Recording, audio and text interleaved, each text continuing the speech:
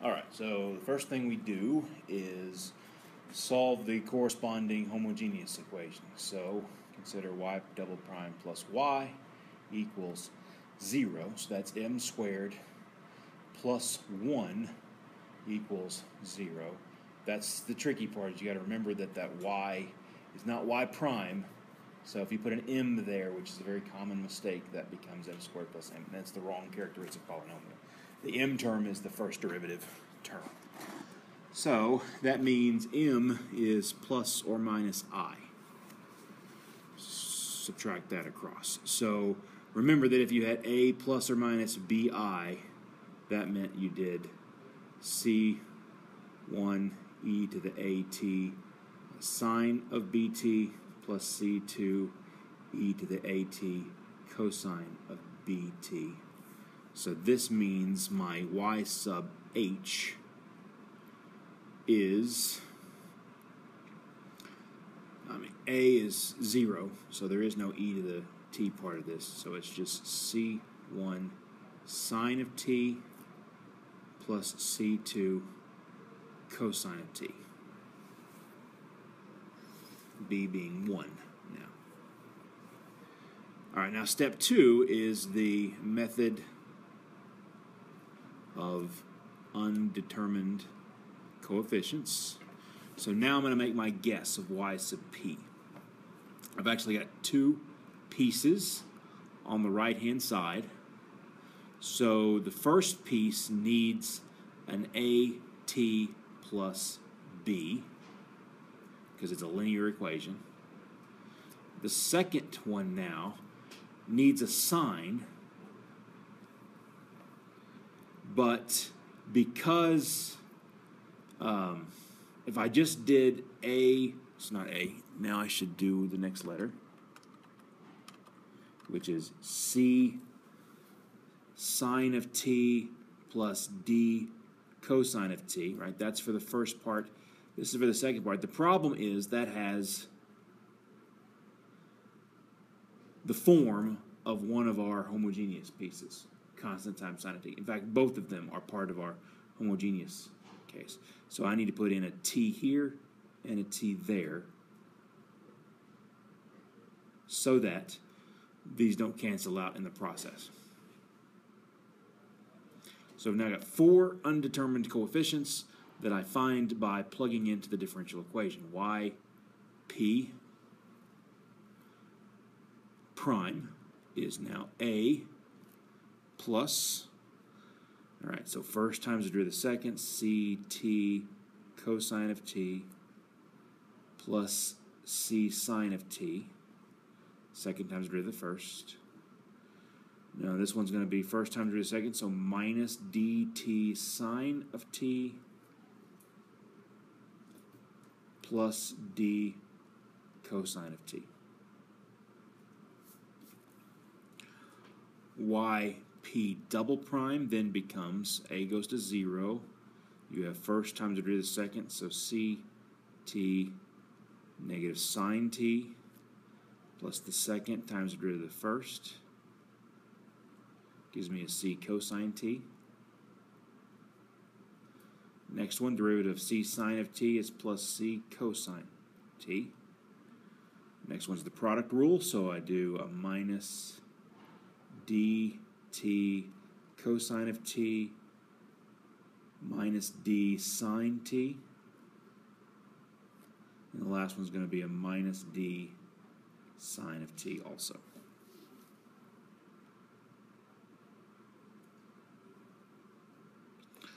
I'm going to simplify that just a hair. I've got t sine t, t cosine t. I'm going to write those first.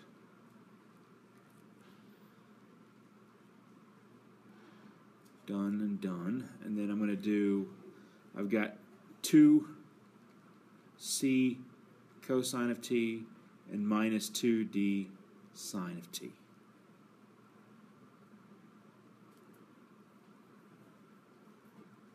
Excellent. So they're all minus. Now, plug all of these in to the original, namely the second derivative and the, and the derivative. Okay, so take yp double prime plus y. That is negative ct sine of t minus dt cosine of t plus 2c cosine t minus 2d sine t plus y sub p, which is just um, at plus b plus ct sine of t plus dt cosine of t.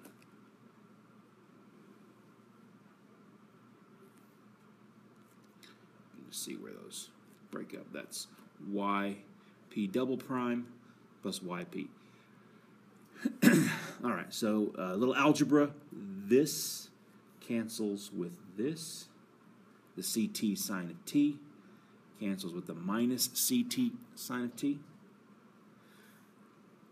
The minus dt cosine of t cancels with the plus dt cosine of t. Now I have an at plus b plus 2c cosine of t minus 2d sine t. And that has to equal the right-hand side, so I set that equal to this up here at the top, 4t plus 10 sine t.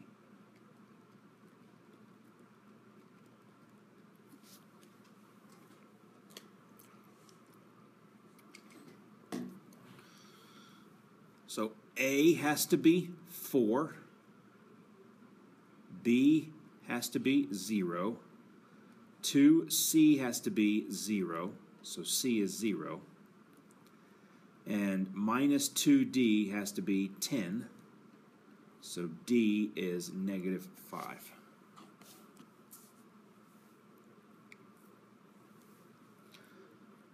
So all that together says y sub p is plug in 4 for A, 0 for B, 0 for C, and negative 5 for D. I get 4t minus 5t cosine of t.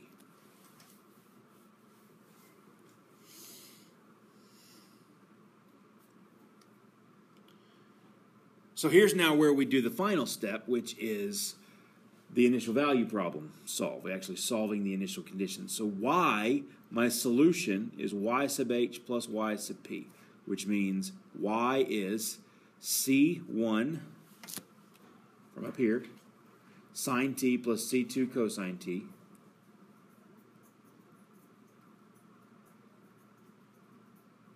plus your y sub p, so plus 4t minus 5t cosine of t.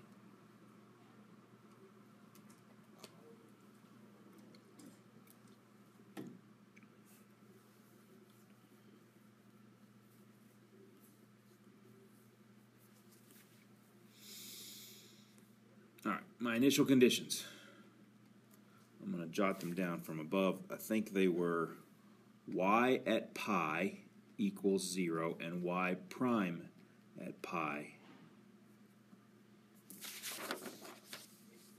equals 2. I don't know why I chose pi as the starting place. It's going to make it a little messier than it needs to be, but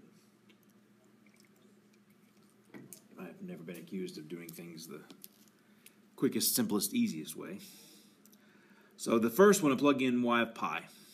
So y of pi just into y gives me um, sine of pi is 0, cosine of pi is negative 1, so I have a negative c2, so plus 4 pi minus 5 pi cosine of pi, and again cosine of pi is negative 1, so that's plus 5.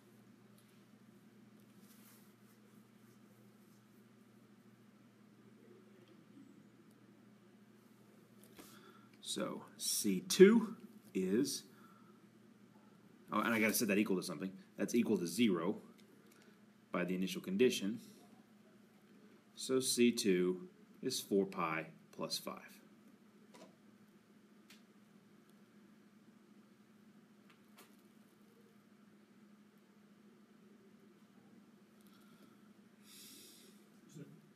Isn't it five pi? Five pi, yes. Nine pi then. Thank you. That's a good reason. You would have missed that up on the video. Thank you, thank you. Four pi plus five pi is nine pi. Pi here.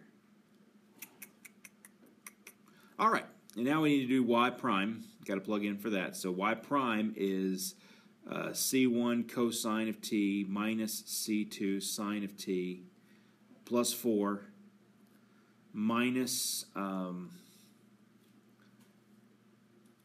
plus 5t sine of t minus 5 cosine of t. c1 cosine t, derivative of cosine is negative sine, so minus c2, derivative of 4t is 4. First is minus 5t times the derivative of cosine is minus sine t, so plus 5t sine t, and then second times derivative of the first, cosine times derivative of negative 5t is negative 5, so negative 5 cosine t.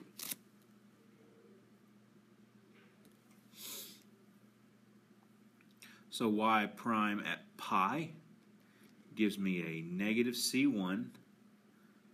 Cosine of pi is negative 1. c2 sine t goes to 0, so plus, then 4. This at pi is 0, so minus plus 5. Cosine of pi is negative 1. So I get c1, and that has to equal 2 in this case. So c negative c1 plus 9 equals 2. So c1 is 7. So all told together, what I have now is y equals 7 sine of t plus 9 pi cosine of t plus 4t minus 5t cosine of t. No c's at all. There we go. That's the final full answer of what the behavior of this looks like over the long term. At any given time t, I should say.